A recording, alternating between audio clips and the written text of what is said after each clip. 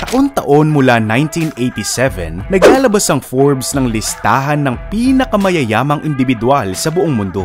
Base ang kanilang ranking o report sa combined assets ng mga business moguls na ito. Kasama sa assets na ito ang cash, cash equivalents, real estate, investments, stakes sa private or public company, and business or personal properties like jewelries, arts, expensive wine at marami pang iba. Nito nga lamang April 3, 2024, nilabas ng Forbes ang kanilang annual World's Richest People. Forbes identified 2,781 billionaires around the globe. They are the 1% of the world's population. 16 Filipinos made it to the Forbes Billionaires list.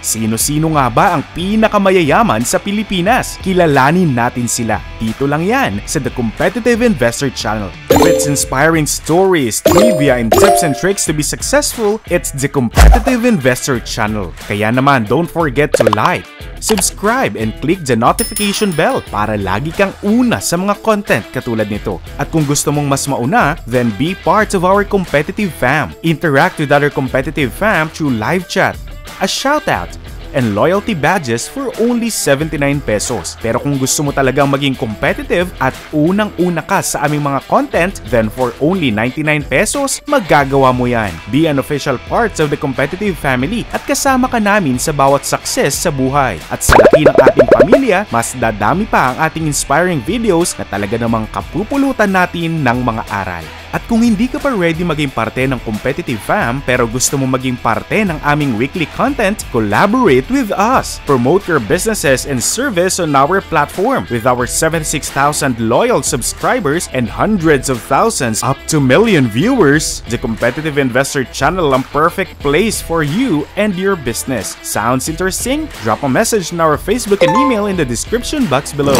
Let's start with number 10 talaga nga namang bida ang saya kung ikaw ay may 1.5 billion US dollars total net worth at pangsampu ka sa pinakamayamang Pilipino sa buong Pilipinas. At hindi lang yan, bida ang saya talaga ay Forbes also ranks you among the 2,700 wealthiest individuals on Earth. Jollibee Food Corporation or JFC chairman and founder Tony Tan Kak Tiong is our 10th wealthiest Filipino. Under JFC, Tony Tan Kak Tiong owns several other businesses and food chains. JFC a majority shareholder and operator ng marami sa fast food chains sa Pilipinas. Kasama na dyan ang Chowking, Greenwich, Red Ribbon, Philippine franchise of Burger King, Fo24, Team Ho 1, Panda Express, Highlands Coffee, Hard Rock Cafe, Coffee Bean and Tea Leaf, and confectionery stores kagaya ng Red Ribbon at Dunkin Donuts. Syempre, kasama rin sa line ng food chain ni Tony Tan Kak Chong ang Mang Inasal, which was originally founded by Injap Sia II. Ngayon, si Injap Sia ay business partner na ni Tony Tan Kak Chong sa kaniyang real estate arm company na Double Dragon Properties Corporation. Famously known ang Double Dragon Properties sa kanilang buildings sa Pasay, Metro Manila. Bukod sa Double Dragon buildings na ito sa Pasay, ang Double Dragon Properties rin ang developer behind the City Mall na isang growing shopping mall chain sa bansa. Also in real estate and fast food chain industry is our 9th wealthiest Filipino. Ang kalaban lang naman ng Jollibee ang nasa 9th spot.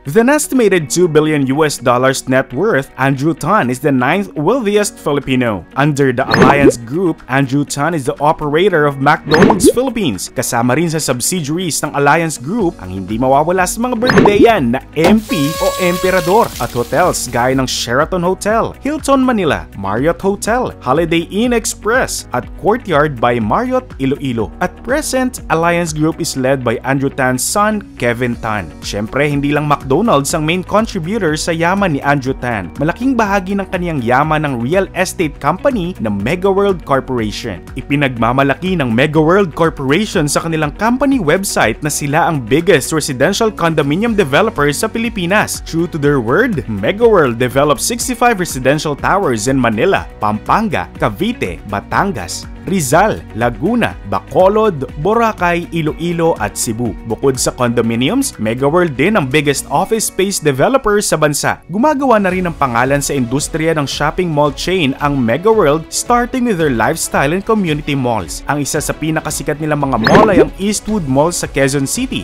Town Malls at ang Lucky Chinatown sa Binondo. And speaking of malls, securing her spot in the wealthiest Filipino list is none other than Elizabeth C. Of course, we are all too familiar with the C name. Sino ba naman ang hindi nakakakilala sa kanila when they own the biggest shopping mall chain not only in the Philippines but in Asia? Pangalawa sa anim na anak ng 11-time Philippines wealthiest individual Henry C. si Elizabeth C. Upon the death of Henry C., each C child has 2.4 billion each in net worth. At present, with an estimated 2 billion US dollars in net worth, Elizabeth C. acts as the SM Prime Advisor, President and Chairman of SM Hotel and Conventions Corporation. Kasama sa properties ng SM Hotel and Conventions Corporation ang Conrad Manila, Lanson Place Mall of Asia, Taal Vista Hotel, Pico Sands Hotel, Park Inn by Radisson in Bacolod, Clark, Davao, Iloilo at North EDSA. Kasama rin sa properties nito ang SMX Convention Halls sa iba't ibang panig ng bansa, Mega Trade Hall at Sky Hall Seaside Cebu.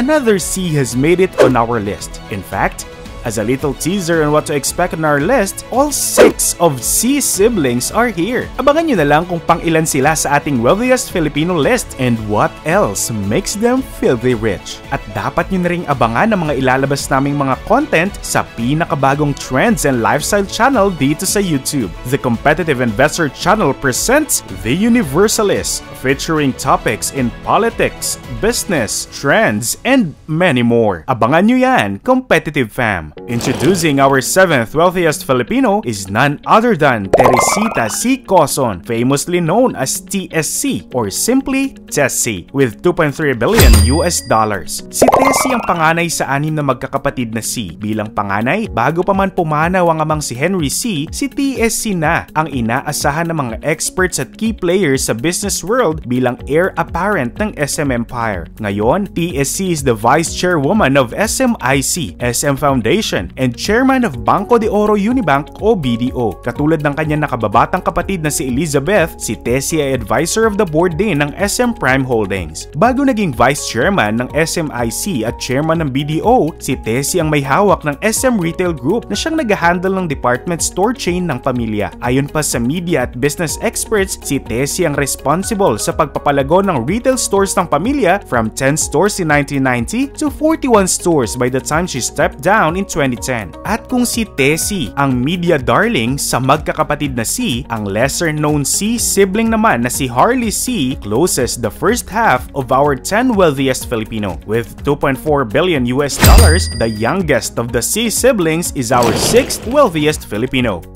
Director ng iba't ibang branches o arm ng family conglomerate si Harley C. Si Harley ang Executive Director ng SM Investments, Director of China Bank, and co-vice chairman and treasurer of SM Retail Group. At alam nyo ba na Harley made it to the wealthiest Filipino list at pang top 6 pa nga despite selling a large portion of his shares in SM Investments. Ayon sa report ng Billionario.com last June 2023, nagbenta si Harley C ng total of 75,070 SM shares at a price range of 900 to 929 pesos. Sa kabila ng malaking shares na kanyang binenta, mayroon pa ring 86 billion pesos worth of SM shares si Harley. Tying in on our fifth spot of wealthiest Filipino are Lucio Tan and two of the C siblings, Herbert C and Henry C Jr., all with 2.5 billion dollars net worth each. Let's start off with Lucio Tan. Lucio Tan gets a huge amount of his wealth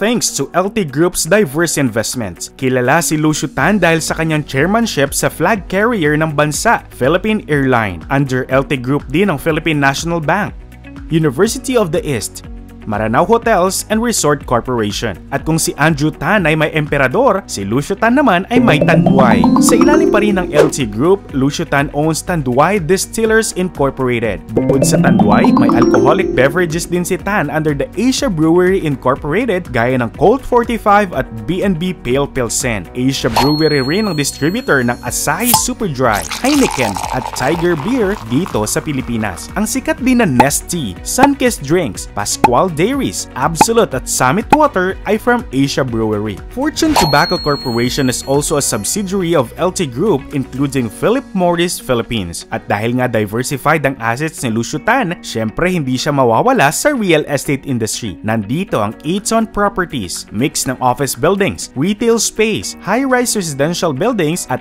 townships ang properties ng Eton. Umangat ng 5 places above si Lucio Tan sa ranking. From the 10th spot noong 2023, ngayong 2024 ay nasa 5th spot na siya. Hindi rin ito nakakagulat dahil last year, karamihan sa mga businesses ni Lucio Tan under the LT Group ay tumaas ang net income. Gaya na lang ng PAL na nakapagtala ng 92% increase sa kanilang net income last 2023. Ayon sa disclosure ng PAL, kumita ng hindi bababa sa 21 billion pesos ang kumpanya. Higit na mas mataas sa 11 billion pesos net income nito noong 2022. Lumaki din ang yaman ng katay ni Lucio Tan sa 5th spot ng wealthiest Filipino from 2.4 billion last 2023, ngayon ay 2.5 billion dollars na ang estimated net worth ni Herbert C. Si Herbert ang pangalawa sa bunsong anak ni Henry C. Si Herbert ang naka-assign sa Supermarket Retail Branch or arm ng pamilya. Siya ang chairman ng Super Value Incorporated, Super Shopping Market Incorporated at Sanford Marketing Corporation. Sa mga hindi nakakaalam, ang Super Value Incorporated ang may hawak ng supermarkets ng SM Group. Bukod dito, director din si Herbert ng Alphamart at China Banking Corporation at SM Prime, ang real estate arm ng SM Group. Katulad ng kanyang mga kapatid na nabanggit natin kanina, advisor of the board din si Herbert ng SM Investments. Another C is on the fifth spot, ang katokayo at junior ng late magnet na si Henry C. With an estimated net worth of 2.5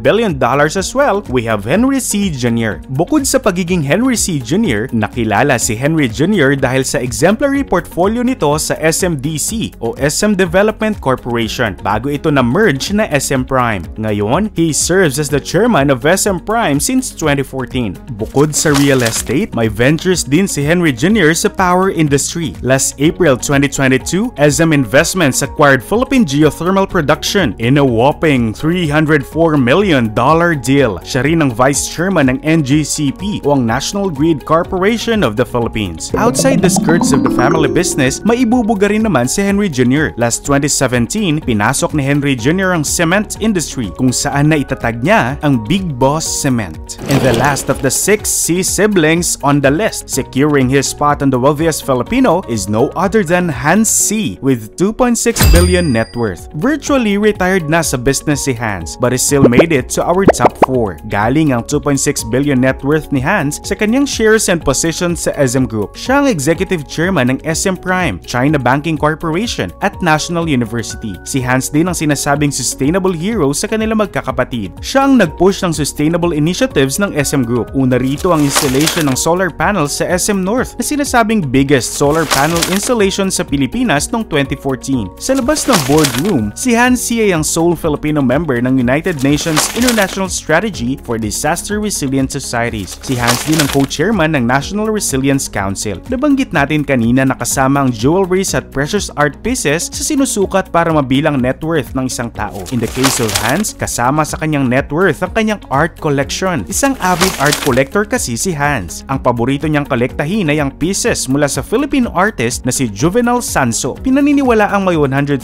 pieces of Sanso si Hans sa kanyang collection. Wala man sa si siblings ang nakatungtong sa ating Big 3 o sa top 3 wealthiest Filipinos, sila naman ang wealthiest family in the Philippines. With a combined net worth of 14 billion dollars, sila rin ang 14th wealthiest family in Asia according to Bloomberg. And finally, we are entering our big three, the top of the pyramid, the 1% of the 1%. On our top 3 is Ramon Ang of San Miguel Corporation or SMC with $3.5 billion of net worth. Like Lucio Tan, tumaas din ang net worth ni Ramon Ang kumpara sa kanyang net worth noong 2022. From 3.4 billion ay naging 3.5 billion na nga ang estimated net worth ni Ang. It is thanks to his diversified investments in SMC. Si Ramon ang vice chairman and president ng SMC and often credited as one of the key players sa diversification ng kumpanya from beverages into banking, energy, power utility, at toll roads. At kung dati nga ay sa beverages nang gagaling ang majority o malaking kita ng kumpanya, ngayon ay sa power na at infrastructure ventures ng kumpanya ito nagmumula. Bukod sa SMC, si Ang din na nagmamay-ari ng Eagle Cement which is one of the largest cement companies in the Philippines. But last year, SMC acquired 92% of Eagle Cement from Ang family for the price tag of 97 billion pesos. Currently, Ramon Ang is the second highest stakeholder of SMC after Inigo Zubel. From 26% stake, 35% stake na ang hawak na shares ni Ramon Ang sa SMC. Ito ay matapos magbayad ni Ang ng 10.9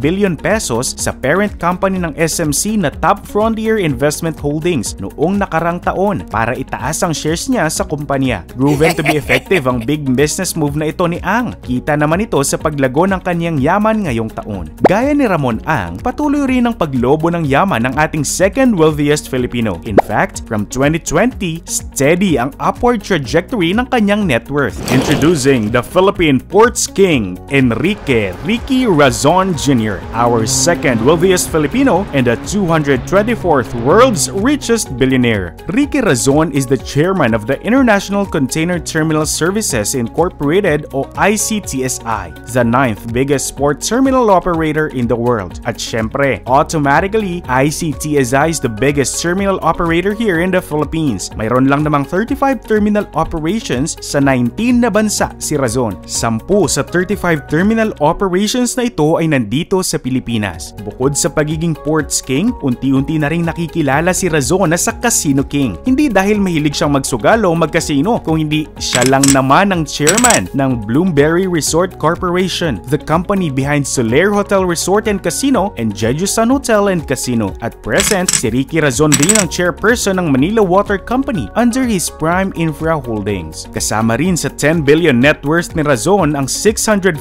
million dollars real estate asset niya sa New York, California at Pilipinas. Kasama rin dito ang tatlong private jets at two helicopters ni Razon. Kung akala nyo ay malaki na ang 10 billion net worth ni Razon, may mas malaki pang yaman dyan. At ito ay ang net worth ni former yeah, senator yeah. and real estate mogul Manny Villar. 11 billion US dollars lang naman ang estimated net worth ni Manny, making him the wealthiest Filipino and the only Filipino billionaire to make it into the Forbes 200 billionaire list. Manny Villar ranked 190th in the billionaires list from 223rd last year. Dahil ito sa paglobo ng yaman ni Villar. Ayon sa report ng Inquirer, 28% ang tinaas ng yaman ni Villar. Ang yaman na ito ay mula sa Vista Land and Lifescapes kung saan si Manny Villar ang chairman and founder. Nakilala ang pamilya sa pagde-develop ng subdivisions na Camellia with over 300,000 homes sold in 44 provinces and 117